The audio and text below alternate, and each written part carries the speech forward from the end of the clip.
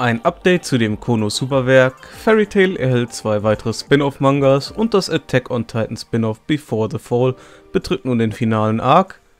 Hallo, ich bin der Niki und das alles und noch mehr erfahrt ihr in unserem heutigen Newscast.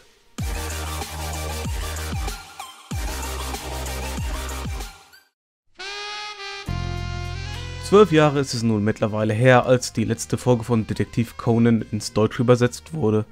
Nun aber kann man sich im Free TV wieder auf die Rückkehr freuen, denn Pro7 Max gab bekannt, dass die Synchronarbeiten an neuen Folgen der Serie bereits aufgenommen wurden. So soll auch am 22. Oktober die 334. Folge ihre deutsche Erstausstrahlung feiern. Bereits vor einiger Zeit kündigte Hiro Mashima die Arbeit an zwei neuen Fairy Tail Spin-off-Mangas an. Nun enthüllte er, dass das erste dieser Werke den Titel Fairy Tail City Hero trägt und im kommenden Herbst startet. Auch Carlo Zen, der Schöpfer von Saga of Tanya the Evil, arbeitet derzeit an einem neuen Werk. Dieses trägt den Titel Baikoku Kikan. Die Ankündigung, wann es startet, kam relativ zeitnah zum Release, immerhin ist dieser gestern schon herausgekommen.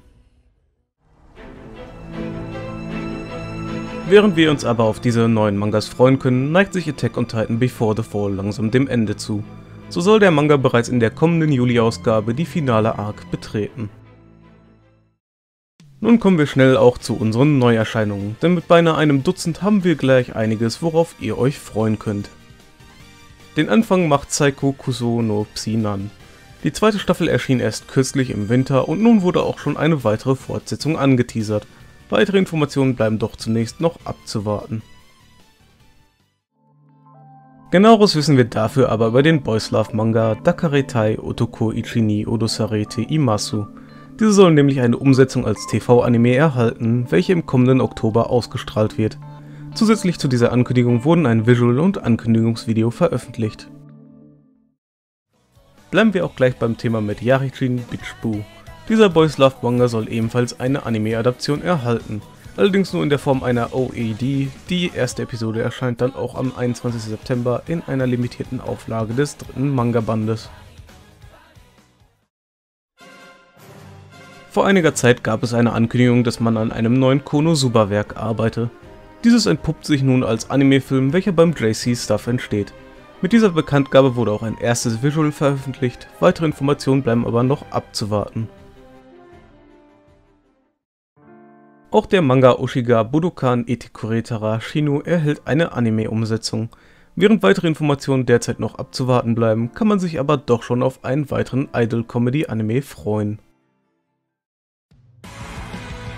Erst im Frühling erschien die erste Staffel von Golden Kamui als Anime-Adaption und nun wurde bereits bekannt gegeben, dass das Historienwerk eine Fortsetzung in Form einer zweiten Staffel erhalten wird. Diese soll dann auch schon im kommenden Oktober erscheinen.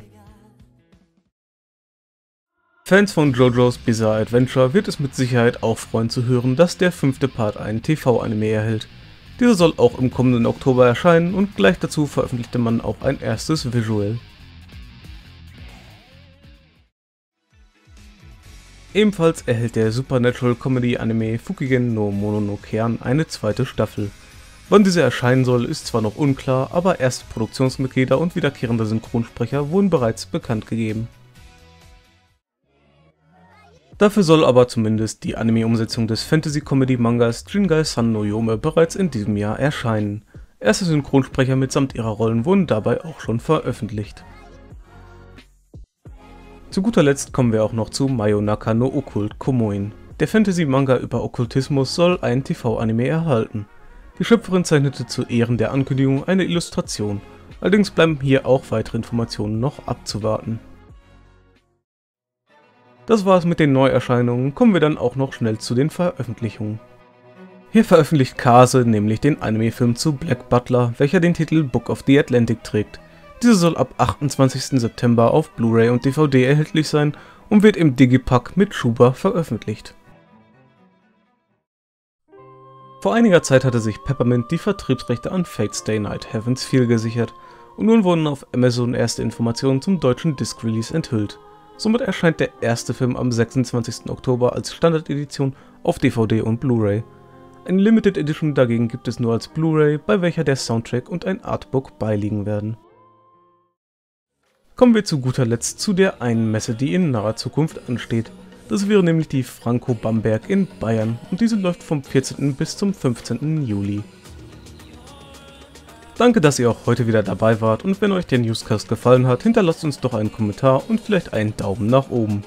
Und wie immer gilt, wenn ihr auch weiterhin auf dem Laufenden gehalten werden wollt, könnt ihr uns auch gleich abonnieren. Damit verabschiede ich mich an dieser Stelle und man sieht sich hoffentlich auch beim nächsten Mal.